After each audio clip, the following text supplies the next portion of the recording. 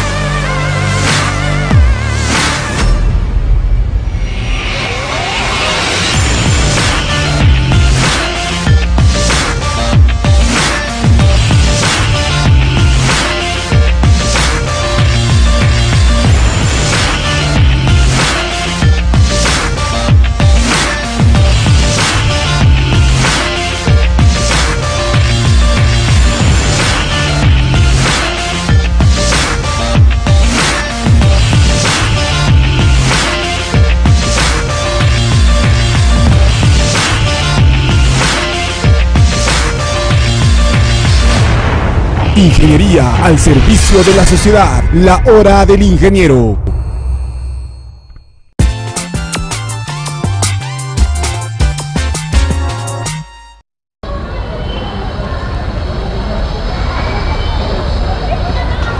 Transmitiendo desde el local institucional del Colegio de Ingenieros del Perú, Consejo Departamental Cusco, les damos la bienvenida a este espacio técnico especializado, la Hora del Ingeniero.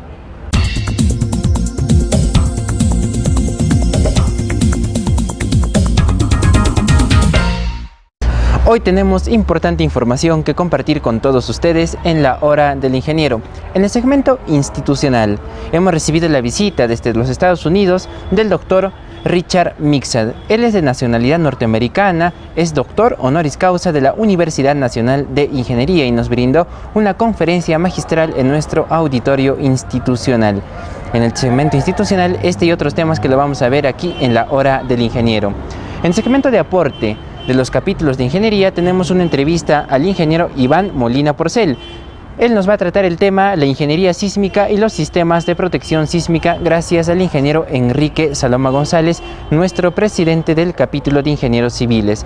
En el segmento de actualidad, la Comisión Técnica de Hidrocarburos del Colegio de Ingenieros del Cusco ha visitado la zona de acopio KP134, en donde hemos recibido una visita guiada del proceso de soldadura que desarrolla la empresa Sisim italiana, que es contratista de la concesionaria Ductos del Sur Odebrecht en Agas que construyen el gasoducto sur peruano. Y en el segmento académico tenemos el tema evaluación de praderas naturales altoandinas, en una entrevista que tenemos al ingeniero Nilo Delgado, gracias al ingeniero Lino Orcoguaranca, presidente del capítulo de ingenieros zootecnistas del Colegio de Ingenieros del Cusco. Les damos la bienvenida aquí en la Hora del Ingeniero.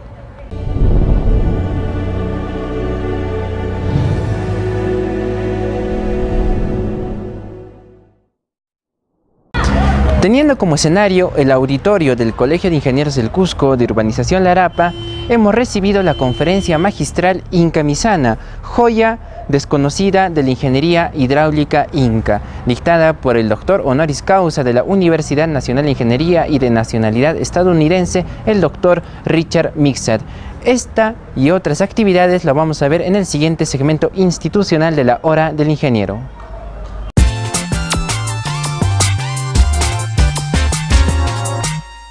Esta semana, el Consejo Departamental Cusco realizó múltiples actividades sociales e institucionales. Nuestra familia cada día crece más y es así que una ceremonia llena de alegría, felicidad y orgullo de ser ingenieros, nuestra casa deontológica dio la bienvenida a 49 nuevos ingenieros que desde ahora cuentan con el respaldo de nuestra orden deontológica. La ceremonia estuvo presidida por nuestro vicedecano, ingeniero Mario Ruiz de Castilla Marín, acompañado por directivos de nuestro Consejo Departamental y público en general. Nuestros ingenieros demostraron alegría que los embargó, demostrando sus dones artísticos al ritmo y sabor que llevan en las venas. que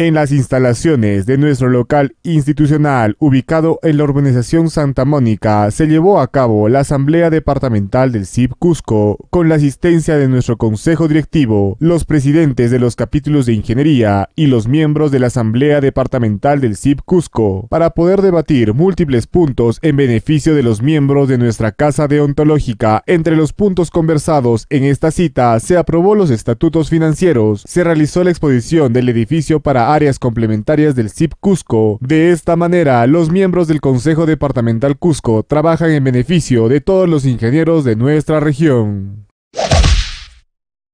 El jueves 30 de julio, en las instalaciones de nuestro auditorio institucional, se realizó la conferencia magistral Inca Misana, joya desconocida de la ingeniería hidráulica Inca, conferencia realizada por el ingeniero estadounidense Richard Mixa, PhD de Massachusetts Technology, decano emérito de la Universidad de Virginia. Este evento contó con la participación de nuestros ingenieros agremiados, estudiantes de nuestras casas universitarias y público en general. De esta manera, el CIP Cusco realiza actividades en beneficio de todos los ingenieros, colaborando con la permanente capacitación de todos nuestros miembros agremiados.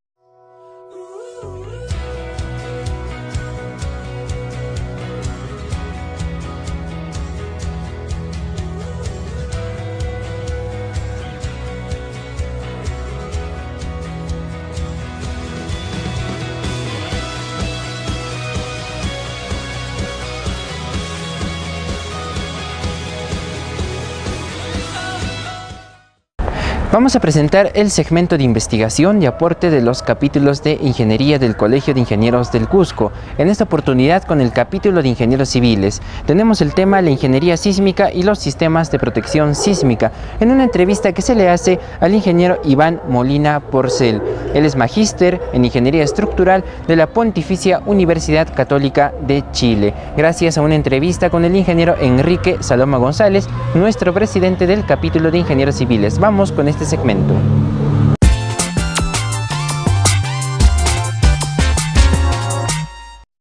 Amigos de la hora del ingeniero, en esta oportunidad tenemos la grata presencia del ingeniero Iván Molina Porcel. Él es eh, egresado de la Universidad San Antonio del Cusco. Asimismo, ha hecho sus estudios de maestría en ingeniería sísmica en la Universidad Católica de Chile. Actualmente nos honra siendo profesor de la San Antonio Abad, así como de la Universidad Andina en la línea de estructuras. Asimismo, él es consultor en ingeniería estructural, a quien le damos la bienvenida a nuestro programa. Eh, buenas tardes, ingeniero, y muchas gracias a usted y al Colegio de Ingenieros por esta invitación. Ingeniero Iván, ¿tendría la amabilidad de mm, definirnos el concepto de ingeniería sísmica con los últimos parámetros? Bueno, la ingeniería sísmica estudia el comportamiento de las edificaciones sometidas a fuerzas sísmicas con el objetivo de diseñar y construir edificaciones más seguras. En nuestro país, el primer reglamento de diseño sísmico se publicó en el año de 1970 eh, posteriormente se hicieron algunas modificaciones en el año de 1977, en el año de 1997 y en el año 2003. Es interesante eh, recalcar que una de estas modificaciones o la última eh, actualización que tenemos se da en el año 2014, el año pasado, donde el Ministerio de Vivienda, mediante un decreto supremo, emite una disposición para que todos los centros de salud, básicamente los hospitales, puedan disponer de sistemas modernos de protección sísmica. Eh, en este sentido, el Perú está avanzando con dispositivos modernos que puedan garantizar la seguridad de los hospitales y puedan estos estar funcionando inmediatamente después de ocurrido un evento sísmico fuerte. Sabemos de que estos uh, sistemas, estos elementos de protección son importados y solamente en algunos uh, locales, en algunas este, edificaciones se tienen eh, ya implementados. ¿Nos podría mencionar cuál de estas existen en el Perú? Eh, por supuesto. Eh, este tema de la protección sísmica en verdad no es nuevo. se viene estudiando ya desde hace 30 años atrás en países como Japón, Estados Unidos, el mismo Chile, pero ahora ha llegado al Perú y obviamente no es nuestra tecnología. Eh, nosotros importamos estos equipos para que puedan ser instalados en nuestros edificios. Eh, hemos empezado ya con algunos en Lima, en la ciudad de Lima, y por ejemplo están entre ellos el eh, Aeropuerto Internacional Jorge Chávez, la torre principal, tiene un sistema de disipación de energía mediante unos amortiguadores. Eh, también está el edificio corporativo de la empresa Grañi Montero, que tiene también aisladores basales y algunos otros edificios, como en el caso de la Universidad Nacional de Ingeniería, la Universidad Católica del Perú, que tienen ya implementados en algunos de sus pabellones eh, estos dispositivos para garantizar la seguridad de los ocupantes y también para garantizar la seguridad de la misma estructura. Ingeniero, ¿nos podría ampliar de mejor manera eh, ¿Cuáles son las diferencias entre el antiguo sistema de diseño de edificios sísmicos con los actuales? Eh, por supuesto, el, diseño tradicional es conocido como eh, diseño sismo resistente. En este tipo de diseño, la estructura misma es la encargada de disipar la energía del sismo. Esta disipación de energía muchas veces representa daño en la estructura muchas veces este daño puede llevar a, la estructura a que esté fuera de servicio o inoperativa. El, tema principal es que este sistema tradicional busca cuidar la vida de los ocupantes, más no tanto la vida eh, de la estructura en sí. En el nuevo sistema que, del cual conversamos, que son los sistemas de protección sísmica, se protege tanto la estructura como la vida de las personas.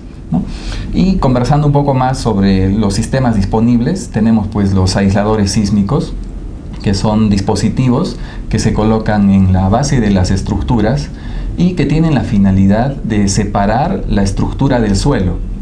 Estos dispositivos, estos aisladores, son muy flexibles en dirección horizontal, pero son muy rígidos en dirección vertical. Esta característica hace que cuando ocurre el movimiento sísmico, toda la energía del sismo se vaya en la interfaz de aislación, es decir, toda la energía se va en el movimiento de los aisladores. Sobre los aisladores la estructura permanece eh, prácticamente rígida, como un bloque rígido y obviamente no hay daño en ella. Sobre estos sistemas hay una gran variedad, sobre aisladores sísmicos también hay una gran variedad. Eh, pero también hay otro grupo, eh, conocido como los disipadores de energía, eh, de los cuales el más empleado es el disipador de fluido viscoso y que básicamente es un amortiguador. este amortiguador se coloca en posiciones estratégicas dentro del edificio y consta pues de un dispositivo cilíndrico en el cual hay un pistón y dos cámaras donde fluyen este, unos aceites. Entonces, al momento de, producirse el movimiento sísmico, este dispositivo se activa y con el movimiento del pistón y de los eh, fluidos viscosos es que se produce la disipación de la energía. Eh, esto hace que los desplazamientos en el edificio se puedan reducir grandemente y por ende, como no hay desplazamientos, como no hay mucho movimiento, se pueda tener fuerzas muy pequeñas dentro de los elementos estructurales y se pueda cuidar la estructura y todo el contenido, como son equipos, muebles, etcétera, etcétera. Es muy interesante eh, también mencionar que con estos sistemas se puede reducir eh, en un 70 u 80% los efectos sísmicos sobre las estructuras. Entonces podemos tener estructuras prácticamente a prueba de terremotos, a las cuales denominamos estructuras antisísmicas. Eh, ingeniero, últimamente hemos tenido experiencias bastante lamentables con relación a los terremotos. Es el caso de Haití, es el terremoto de Kobe, es el terremoto de Ica y últimamente pues el terremoto de Chile, que seguramente usted ha vivido esa experiencia en aquel lugar. ¿Nos podría comentar al respecto? Sí, el, terremoto de Chile, conocido como el terremoto del Maule, en 2010, fue el quinto eh, terremoto más fuerte de la historia reciente de la Tierra. Eh, tuvo una magnitud de 8.8 grados, magnitud de momento, y eh, bueno, sacudió prácticamente gran parte de, toda Sudamérica. Este terremoto eh, trajo como consecuencia alrededor de 700 víctimas fatales, pero eh, el dato interesante es que la gran mayoría de estas víctimas eh, fueron a causa del, sismo, del, perdón, del tsunami que ocurrió posteriormente al, sismo. solo en la capital, en Santiago de Chile, una ciudad con más de 5 millones de habitantes, perecieron 80 personas. Y de estas 80 personas, la gran mayoría por causas ajenas al desplome o a la falla de estructuras. Eh, se sabe que menos de, 8, de, 10 personas fallecieron debido a la falla de las estructuras en sí. Entonces, esto nos hace ver que Chile este, cuenta con edificaciones preparadas para, sismos, eh, y esto básicamente porque las construcciones en, en Chile eh, son formales. Existen eh, gremios que agrupan a ingenieros estructurales y que por ende vigilan eh, los proyectos que van a salir a, construirse. también algo que repercute en, la, buena, en el buen comportamiento sísmico de sus infraestructuras es que la educación hace que haya mucha investigación en el tema de ingeniería sísmica, ingeniería antisísmica en Chile las dos principales universidades de Chile, como son la Universidad de Chile y la Pontificia Universidad Católica de Chile, eh, siempre producen material nuevo en cuanto a tecnología de ingeniería sísmica e ingeniería antisísmica. Entonces, estos factores hacen que ellos tengan mejor preparación y por ende los proyectos están mejor este, construidos. Algo que me preocupa y llama la atención es que si en el Perú estamos preparados o preparando técnicos eh, especialistas en la materia de las edificaciones antisísmicas. Bueno, en el Perú contamos con reglamentos actualizados. Nuestra normativa sobre ingeniería sismoresistente está a la par de muchos países avanzados eh, que sufren eh, las consecuencias de los sismos. Eh, yo diría que hay mucha preparación en el tema de la ingeniería sísmica, nuestros diseños son buenos. Eh, sin embargo, el gran problema que, ocurre en el Perú es la informalidad de las construcciones, porque alrededor del 70 o 80, o 80 de las construcciones son informales. Entonces, esto hace que tengamos un peligro latente en nuestras ciudades. Mm, efectivamente, pues nosotros como cusqueños seguramente debemos velar por la garantía y la seguridad de nuestros ciudadanos. Ingeniero, le quedamos muy reconocidos por su participación en este programa La Hora del Ingeniero. Gracias a usted, ingeniero.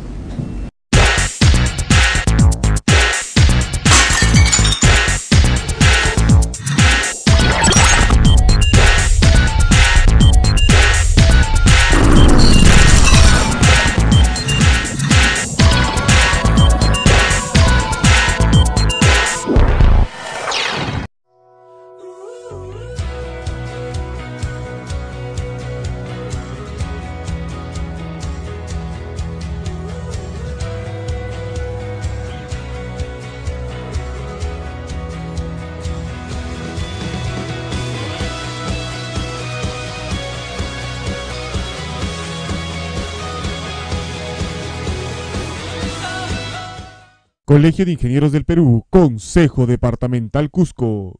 Comunicado. Presente por el 53 aniversario del CIP. Estimados ingenieros e ingenieras, el Consejo Departamental Cusco del Colegio de Ingenieros del Perú, CIP Cusco, le comunica que se realizará la entrega gratuita del presente por el 53 aniversario del CIP, que consiste en una mochila para laptop. A todos los ingenieros colegiados y habilitados en nuestro Consejo Departamental desde el viernes 10 de julio hasta el miércoles 30 de septiembre de 2015. La entrega de los presentes se realizará en el primer nivel de nuestro local institucional de Urbanización Larapa Grande A1 San Jerónimo en el siguiente horario, de lunes a viernes de 9 a.m. a 1 p.m. y por las tardes de 4 a 8 p.m. Los sábados de 9 a.m. a 1 p.m. Por favor, tener en consideración lo siguiente. La recepción del presente es personal, caso contrario puede realizarlo una tercera persona quien deberá presentar una carta poder legalizada, adjuntando copia del DNI de la persona que realice la recepción. Tiene derecho a recibir el presente los ingenieros colegiados que estuvieron habilitados hasta el 31 de mayo del presente año. Queda a vuestra disposición, solamente al momento de recibir el presente, la adquisición de una casaca cortavientos a un precio promocional de 10 nuevos soles, una unidad por ingeniero. Agradecemos su gentil atención. Atentamente, Colegio de Ingenieros del Perú, Consejo Departamental Cusco. Cusco, jueves 9 de julio de 2015.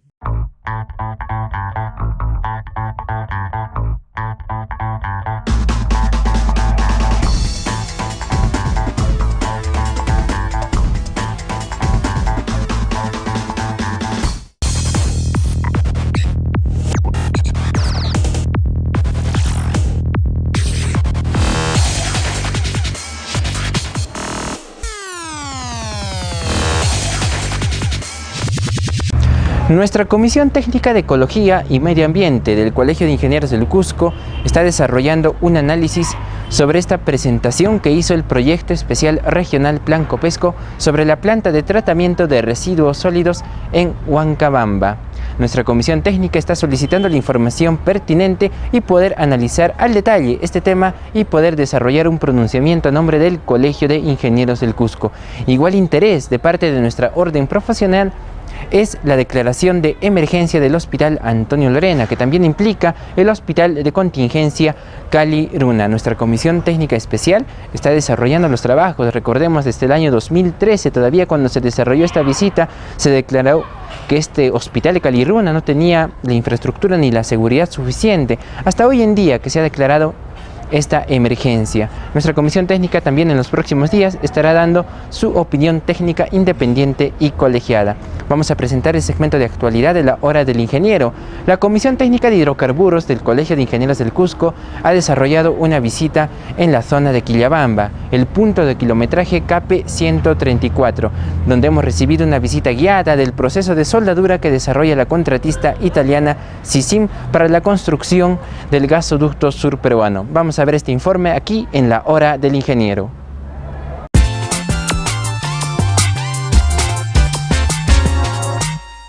La anterior semana vimos algunas zonas de acopio de las tuberías que existen actualmente en la provincia de la Convención, donde el consorcio constructor Ductos del Sur almacena las mismas que son destinadas para la construcción del gasoducto surperuano y que fueron visitadas de manera inopinada por la Comisión Técnica de Hidrocarburos del Colegio de Ingenieros del Cusco, la cual estuvo encabezada por nuestro decano departamental ingeniero Darwin Cosio Mesa e integrada por los ingenieros Alejandro Camaita y Antonio Bueno. Hoy usted podrá observar en la hora del ingeniero los trabajos de soldadura que se vienen desarrollando en el punto de kilometraje KP 134 en el sector de Palma Real de la provincia de la Convención. Este campamento está a cargo de la contratista italiana Sisim, quienes como señalan los representantes del consorcio Ductos del Sur participan en la construcción de varios gasoductos en diversas partes del mundo. La visita estuvo a cargo del supervisor de soldadura mecanizada, ingeniero Mauricio Galvani, quien inició la misma en el área de prefabricación del punto de kilometraje KP 134. Esta es el área de prefabricación donde nosotros preparamos la tubería es algo que necesita nosotros para emplazarse eh, antes de ir al derecho de vía con la, con la soldadura de línea. Durante la visita, la comisión técnica de nuestra orden profesional consultó sobre el espesor de las tuberías, así como el proceso que desarrolló SISIM en la soldadura el espesor de, esta, de esas tuberías. Sí, la tubería lo, lo, nosotros utilizamos 32 pulgadas, 24 pulgadas, con el espesor 14.3, uh, 17.4, es la mayoría de las tuberías que nosotros tenemos aquí. ¿Vale? El proceso que ustedes utilizan es... Eh, ¿Me puede explicar el proceso? ¿Cómo es el biselado, el corte? Sí, el biselado, el biselado aquí, la manual, es, muy, es, más fácil porque es 30 grados, 30 grados normal como se sale da, dalla, dalla oficina. Eh, le pasate uh, la, primera, la raíz, el relleno uh, y, la, y la, la, presentación como la llamamos aquí, porque nosotros decimos peinado, ma es la presentación. Vale. Esto es el tipo de electrodo que utilizamos. Cámate la máscara, por favor. Ok, explica un poquito. Este acá el electrodo es para la primera pasada, primer pase, pase de raíz. ¿Qué electrodo este, es? Este es un 7010 7010. E1. Ya. Este es el 532, 8010, que le da el- la limpieza y el refuerzo a la, a la raíz. Y hasta acá vienen las siguientes pases ya. Son, dependiendo del espesor de la tubería, los pases que se dan pueden ser entre 12 a 18 pases. La presentación ya se da con el 316 cordoneado. Con tres cordones, ¿no? Vale. Y 3 dependiendo del espesor de la tubería. En la primera en la raíz se utiliza un octavo, ¿no? 3.2 milímetros. Con octavos siguen subiendo.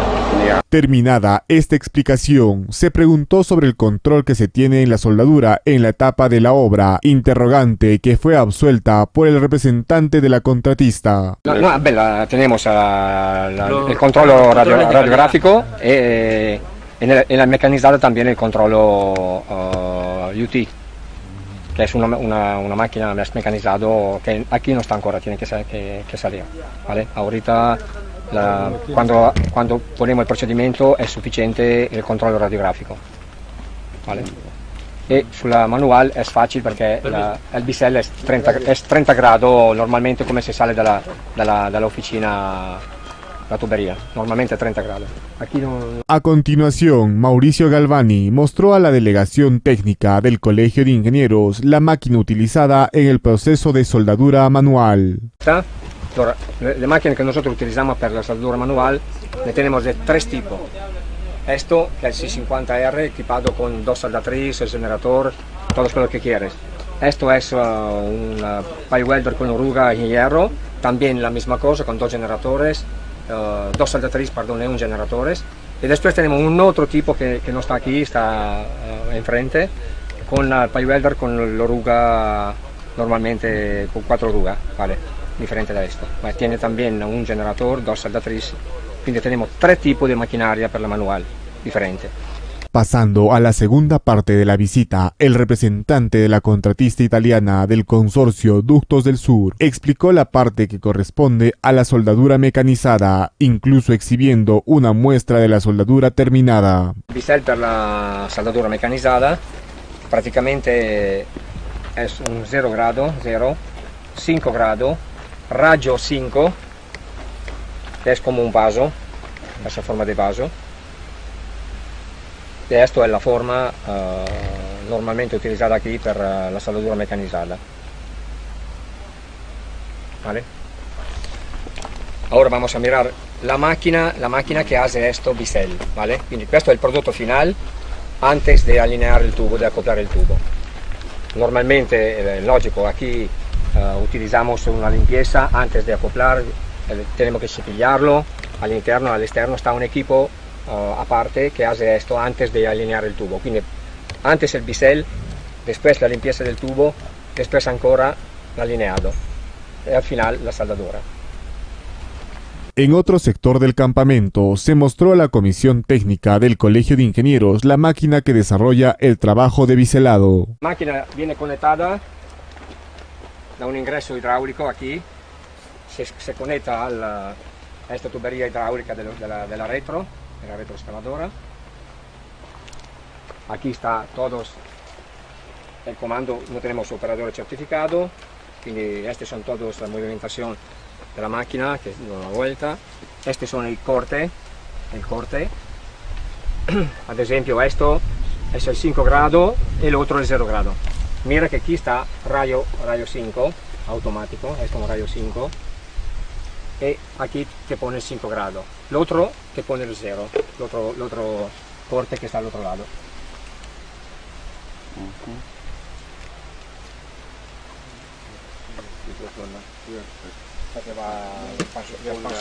Se expande con la... Se pone esto, mira, tanto no, no, no, no hace nada. Esto expande. Esto, vamos para allá. Esto rápido. eh.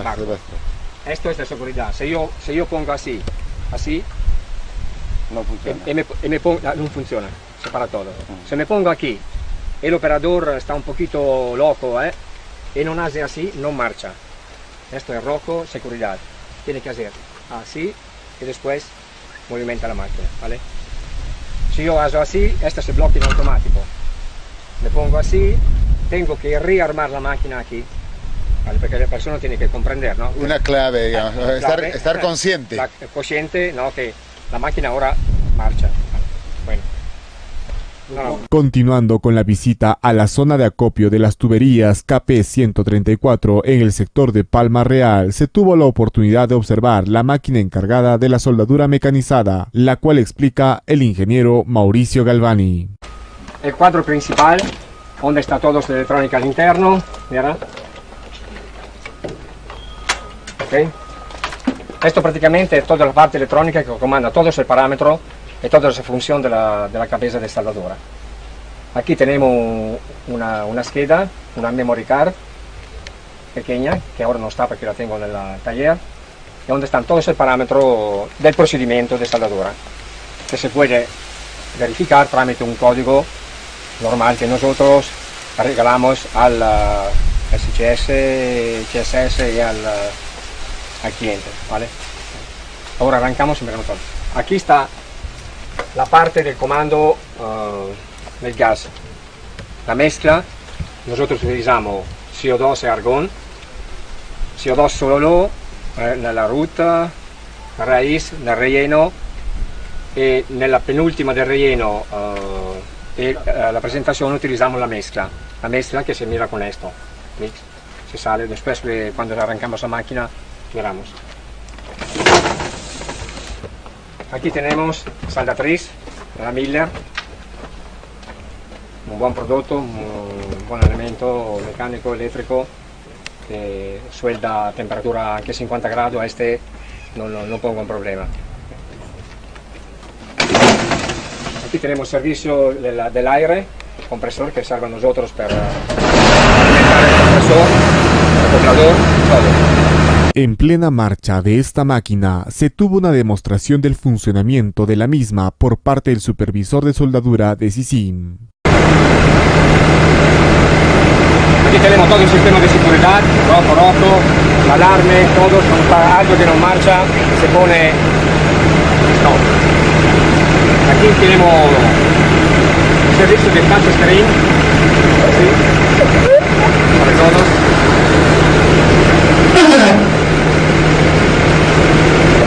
Aquí tenemos el código de referencia del 32 pulgadas que hemos utilizado per, per la prova di procedimento aquí el código eh, que hemos utilizado para la prueba de procedimiento de 24 pulgadas, ¿vale? Bueno. Le toca la mezcla, tanto per comprender, con 14, 14 en automático. Cuando tú te pones la pasada número 1, 2, 3, 4, cuando quieres la mezcla en automático, te pone la mezcla. Yo adesso lo pongo aquí más, no va a salir en automático, ¿vale? Solo CO2, 30 litros, mezcla 15-15 significa 30, ¿vale? aquí la misma cosa. Bueno, con el dos, contemporánea, está problema. Prosiguiendo con la visita, se mostró la caseta de soldadura con el telecomando interior de la misma y aditamentos que se exponen a continuación. Okay, aquí tenemos la, la, protección, la caseta de soldadura, donde el soldador, el soldador se, ponga, se pongan a saldar, terminar la pelea. Tenemos un telecomando, un mando, que indica todos a la pasada. Partimos de la primera cambiamos, segunda, la tercera, la cuarta, la quinta, la todo en automático. Aquí, mira, ahí. Llenamos, ok. Mira cómo va la, la oscilación, cómo va el motor del filo, cómo va el motor del carro. Esto. Esto. Esta es la apertura para engancharse a la faca de hierro.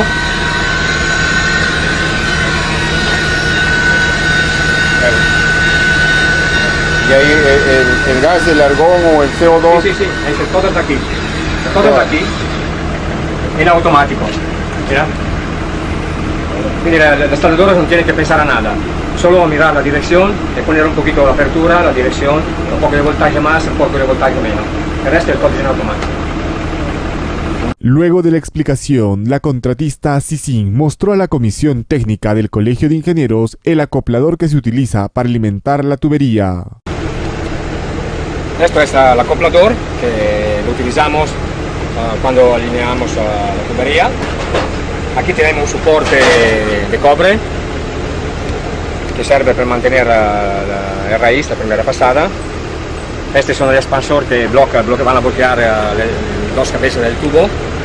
Una cabeza está para acá, la otra está para acá. Primero se sale uno, pues se sale el otro y bloquea, bloquea el tubo. Ok, vale. Después tenemos un comando a distancia, se lo ponemos listo, y el clamp se va Usando por el interés. a seguir.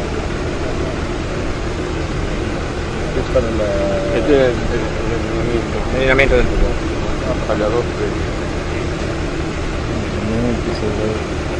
Quindi abbiamo posto la, il bisello, la macchina che hace il bisello, la retro che si va con l'equipo della biselladora, e il pie welder, e il clamp che si van per l'allineado e la, beh, pie welder también se va per eh, completar eh, la pegas eh, dalla, la raíz eh, hasta la presentación. Y al final tenemos también un equipo que están para acá, con el generador, con la pulidora, que vamos a limpiar todos por el control radiográfico y el control ultrasonoro, ultrasonido. ¿vale? ¿Cuántas de estas máquinas? eh, 15 tiene? tenemos aquí. 15. 15. Todos así nuevos. Y de este también tenemos 3, 4, de este 5, 5 biseladoras, todas nuevas, todas así. ¿Todas son con máquinas de soldar Miller o también Todo- todos son con Miller. han utilizado Lincoln también? No, eh, beh, in Italia en laboratorio, eh, porque nosotros cuando estamos en en sul campo, estamos en el laboratorio y hacemos eh, prueba. E utilizamos muchas, eh, Lincoln, eh, Miller o Erlikon. Para, para ahora, por nosotros, en este campo, la Miller es la mejor para, para ahora. Es la que se ha seleccionado. De igual manera, se interrogó a la contratista sobre la nacionalidad de los técnicos que trabajan en el campamento, haciendo además hincapié en la inclusión de la formación técnica para la población de nuestra región. Soldadores este, peruanos, No, salvadores son, son- tenemos a uno italiano, eh, todos 25, 26, 7, 28 indios, que nosotros son más o menos 20, 18 años que utilizamos este soldador indios en todo el mundo. y hace un equipo. Sí. Ahí hay Tenemos equipo. 60, 60 más soldadores indios con nosotros. En México, ahora son en México y la otra parte se salgan aquí. Eh, soldadores hindú. Indios, que son 18 años que trabajan con nosotros, 15 años, 18 Ya años. es un equipo preparado y Sí, que se tiene sí, la sí. confianza Sí, en sí. ellos. ¿no? ¿Ya han integrado algún o piensan integrar algún peruano? Io, eh, io non, non puedo hablar per l'impresa perché non soy l'impresa, no? Però se l'impresa quieres, non sta, non sta ningún eh, motivo non No hay hacerlo. Sí, que yo también yo soy supervisor completo de todos.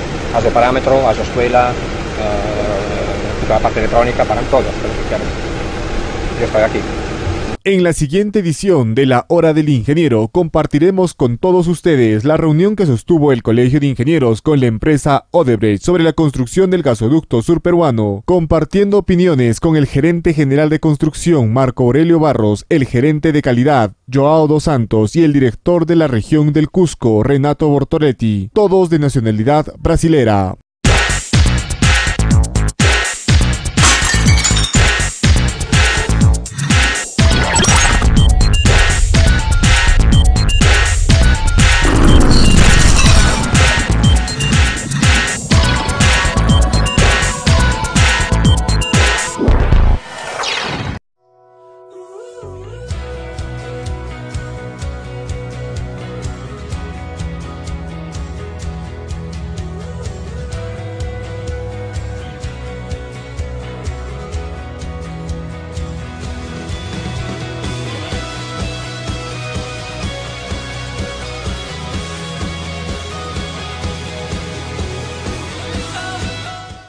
Colegio de Ingenieros del Perú, Consejo Departamental Cusco.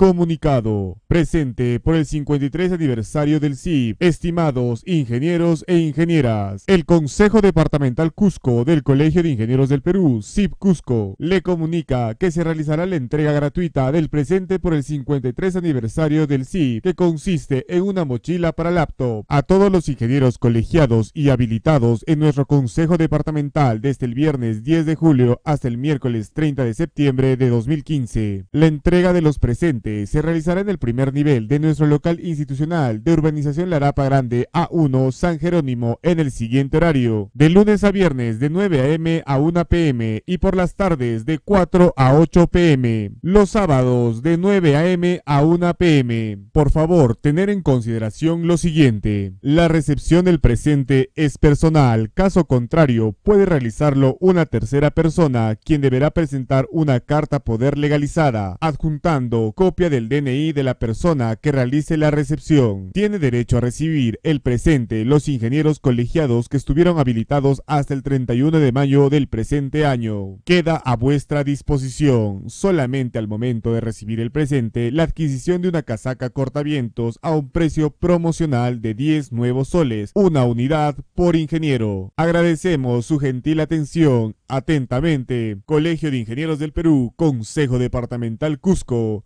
Cusco, jueves 9 de julio de 2015.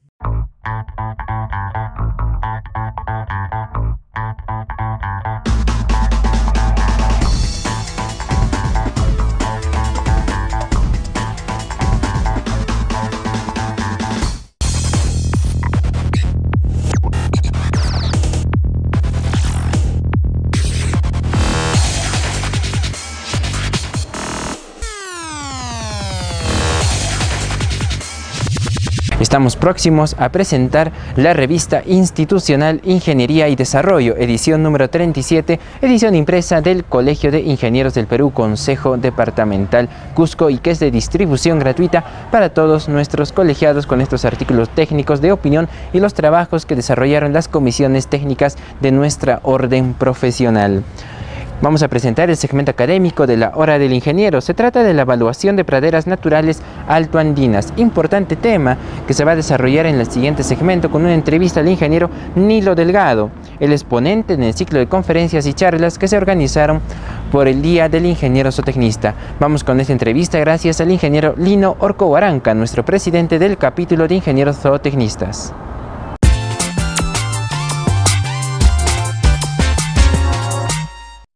Muy buenas tardes amigos televidentes de la hora del ingeniero. Eh, en esta oportunidad para señalarte que este 25 de julio a nivel nacional se conmemora el Día del Ingeniero Zootecnista. Esto como un acuerdo establecido en el primer Congreso Nacional de Ingenieros Zootecnistas llevado a cabo en la década de los años 80 en la ciudad de Huancayo de la región Junín. Y también este, validado en el quinto Congreso Nacional de Ingenieros Zootecnistas llevado a cabo el año pasado en la ciudad de Chiclayo de la región Lambayeque. Eh, dentro de este marco hemos desarrollado un conjunto de actividades y una de ellas es el haber llevado a cabo el ciclo de charlas y conferencias con diferentes temas académicos de la especialidad. En ese contexto, el día de hoy eh, hemos invitado a nuestro colega, el ingeniero Nilo Delgado Sánchez, para que nos pueda acompañar en esta entrevista y en todo caso comentar eh, algunos aspectos relacionados a nuestra especialidad, especialidad y principalmente el tema que ha abordado en relación a la importancia de la pradera natural en lo que es la seguridad alimentaria de los animales domésticos en la región Cusco. Gracias. De igual manera, buenas tardes. Eh, gracias por la invitación y también relevar Ah, este ciclo de conferencias que se llevó a cabo eh, efectivamente ha sido importante y también aprovecho la oportunidad para saludar a todos los colegas zootecnistas que en su responsabilidad está recayendo, por ejemplo, la producción pecuaria y particularmente con lo que respecta a mí eh, uno de mis temas fuertes es la, los pastos naturales y cultivados. Eh, yo preocupado por el maltrato que recibe la pradera natural, eh, efectivamente muchos expertos han señalado que la pradera natural está destinada a desaparecer, a deteriorarse, a, la desertificación. Entonces, este, eh, yo pido a mis colegas, a los zootecnistas, eh, hay que ponerle un poquito más de empeño para que las comunidades campesinas que son poseedoras de todos estos territorios con praderas naturales, que es la alimentación significativa de, los, de la ganadería andina, este, podamos trabajar este tema. Efectivamente, eh, la pradera natural o los pastos naturales altoandinos, eh, como usted ha señalado en su exposición, son la cobertura principal de los suelos. Y hay una vasta extensión de pastos naturales en lo que es la región Cusco y principalmente en provincias altas, y sobre la cual se desarrollan actividades económicas importantes como la crianza de ganado vacuno, ganado ovino, camelios sudamericanos principalmente. ¿Cómo nosotros ahora, en este nuevo contexto de cambio climático, debemos manejar esta pradera natural, toda vez de que cada vez, más, cada vez más va a significar un deterioro o en todo caso un sobrepastoreo? Importante la pregunta. Eh, definitivamente yo conceptúo la pradera natural, por un lado, eh, con sus beneficios ambientales y dentro de este marco del cambio climático creo que es importante porque, como señalé en la charla que me invitaron y que expuse, este, efectivamente el manto vegetal, que es la cobertura vegetal significativa, la pradera natural, es uno de los principales cosechadores de agua en la época de la producción del agua, que es la época de lluvias, y tiene otros beneficios ambientales, la pradera natural, y por eso es que hay que conservar. Y por otro lado, efectivamente, el aprovechamiento de este recurso que es la pradera natural por parte de quienes son poseedores de la carga animal, los compañeros eh, del campo, tienen vacunos, ovinos, llamas, alpacas, equinos, felizmente ahora está disminuyendo la población de equinos, eh, juega entonces la pradera natural un rol económico porque es significativa la alimentación que los animales lo transformen en carne, en leche, en fibra, en lana. Entonces, este, creo que cada vez tanto los profesionales de la zootecnia como los compañeros eh, del campo tenemos que tener un poco más de responsabilidad frente al recurso de la pradera natural, porque como dije, si no, vamos a más adelante perder este recurso importante.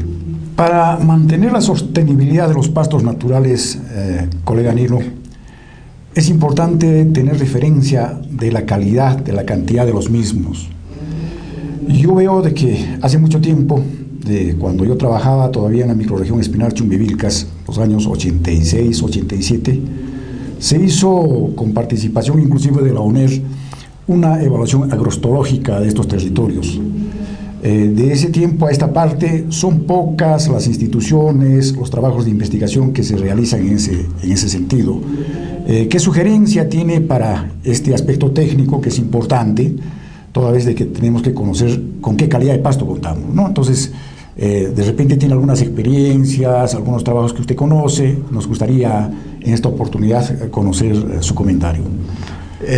Sí, efectivamente, este, yo lamentaría más bien señalar que no está habiendo instituciones que se estén dedicando a este recurso.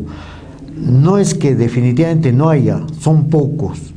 Yo quiero relevar y felicitar a la región la región, a través de un proyecto especial, el Instituto de Manejo de Agua y Medio Ambiente, está manejando, por ejemplo, un proyecto eh, encima de los 50 millones de soles, creo que son para siete años, en la cuenca alta del río Apurímac, un programa interesante, un proyecto de praderas naturales.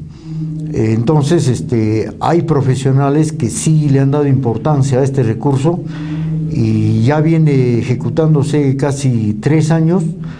Eh, están desarrollando también infraestructura, pero la infraestructura, ojo, en función de dotar agua a las praderas naturales. Este es importante porque eh, hay bastantes infraestructuras de riego.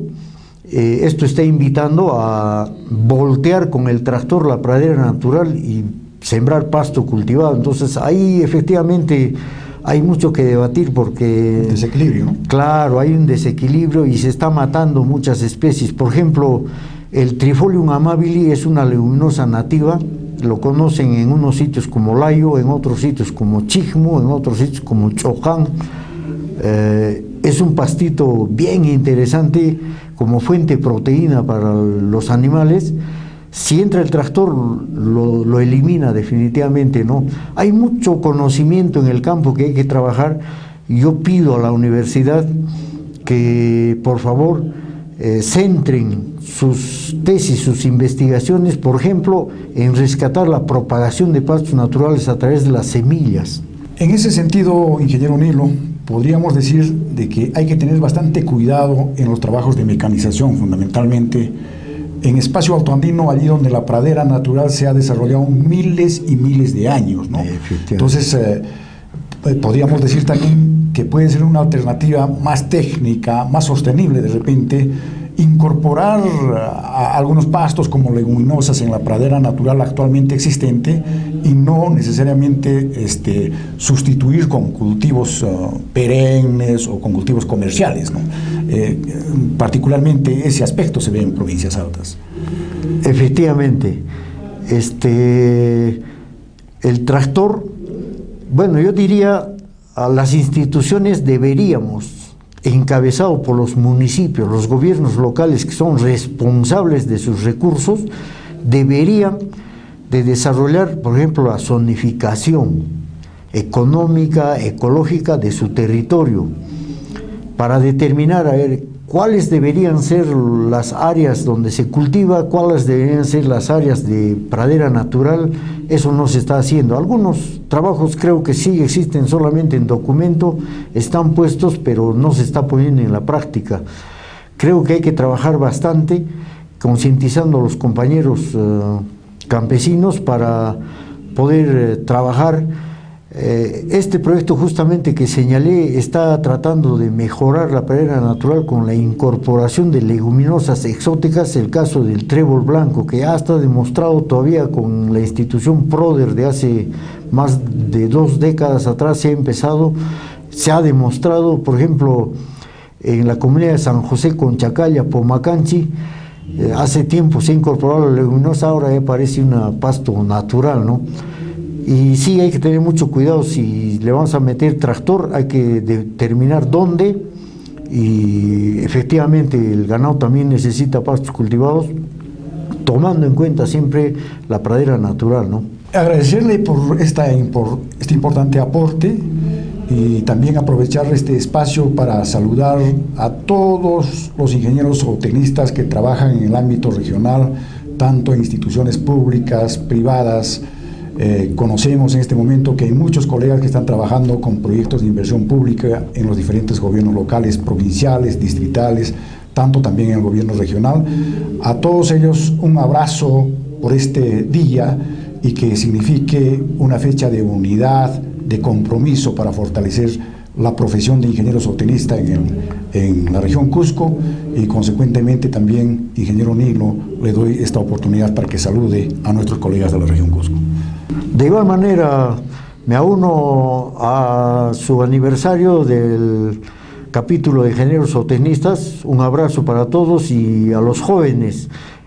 Apúntense a ser eh, ingenieros o porque hay mucho trabajo que hacer, hay mucho compromiso por la ganadería en nuestra región y también a nivel nacional. Gracias.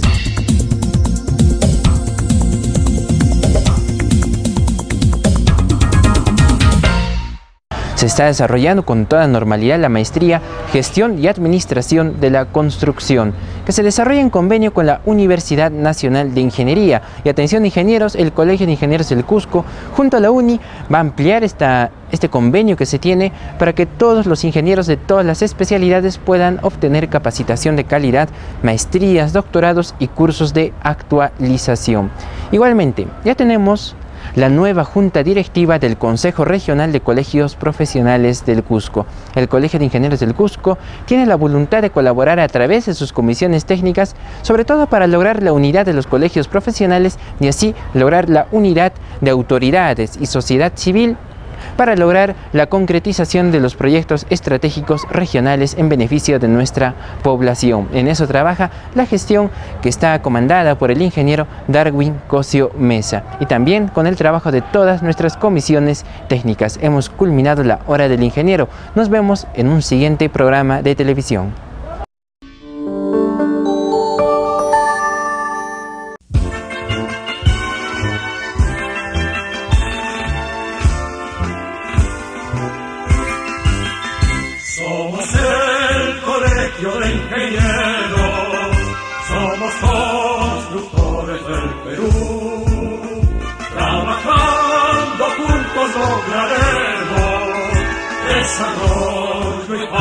Paz en el Perú. Trabajando juntos lograremos desarrollo y paz en el Perú.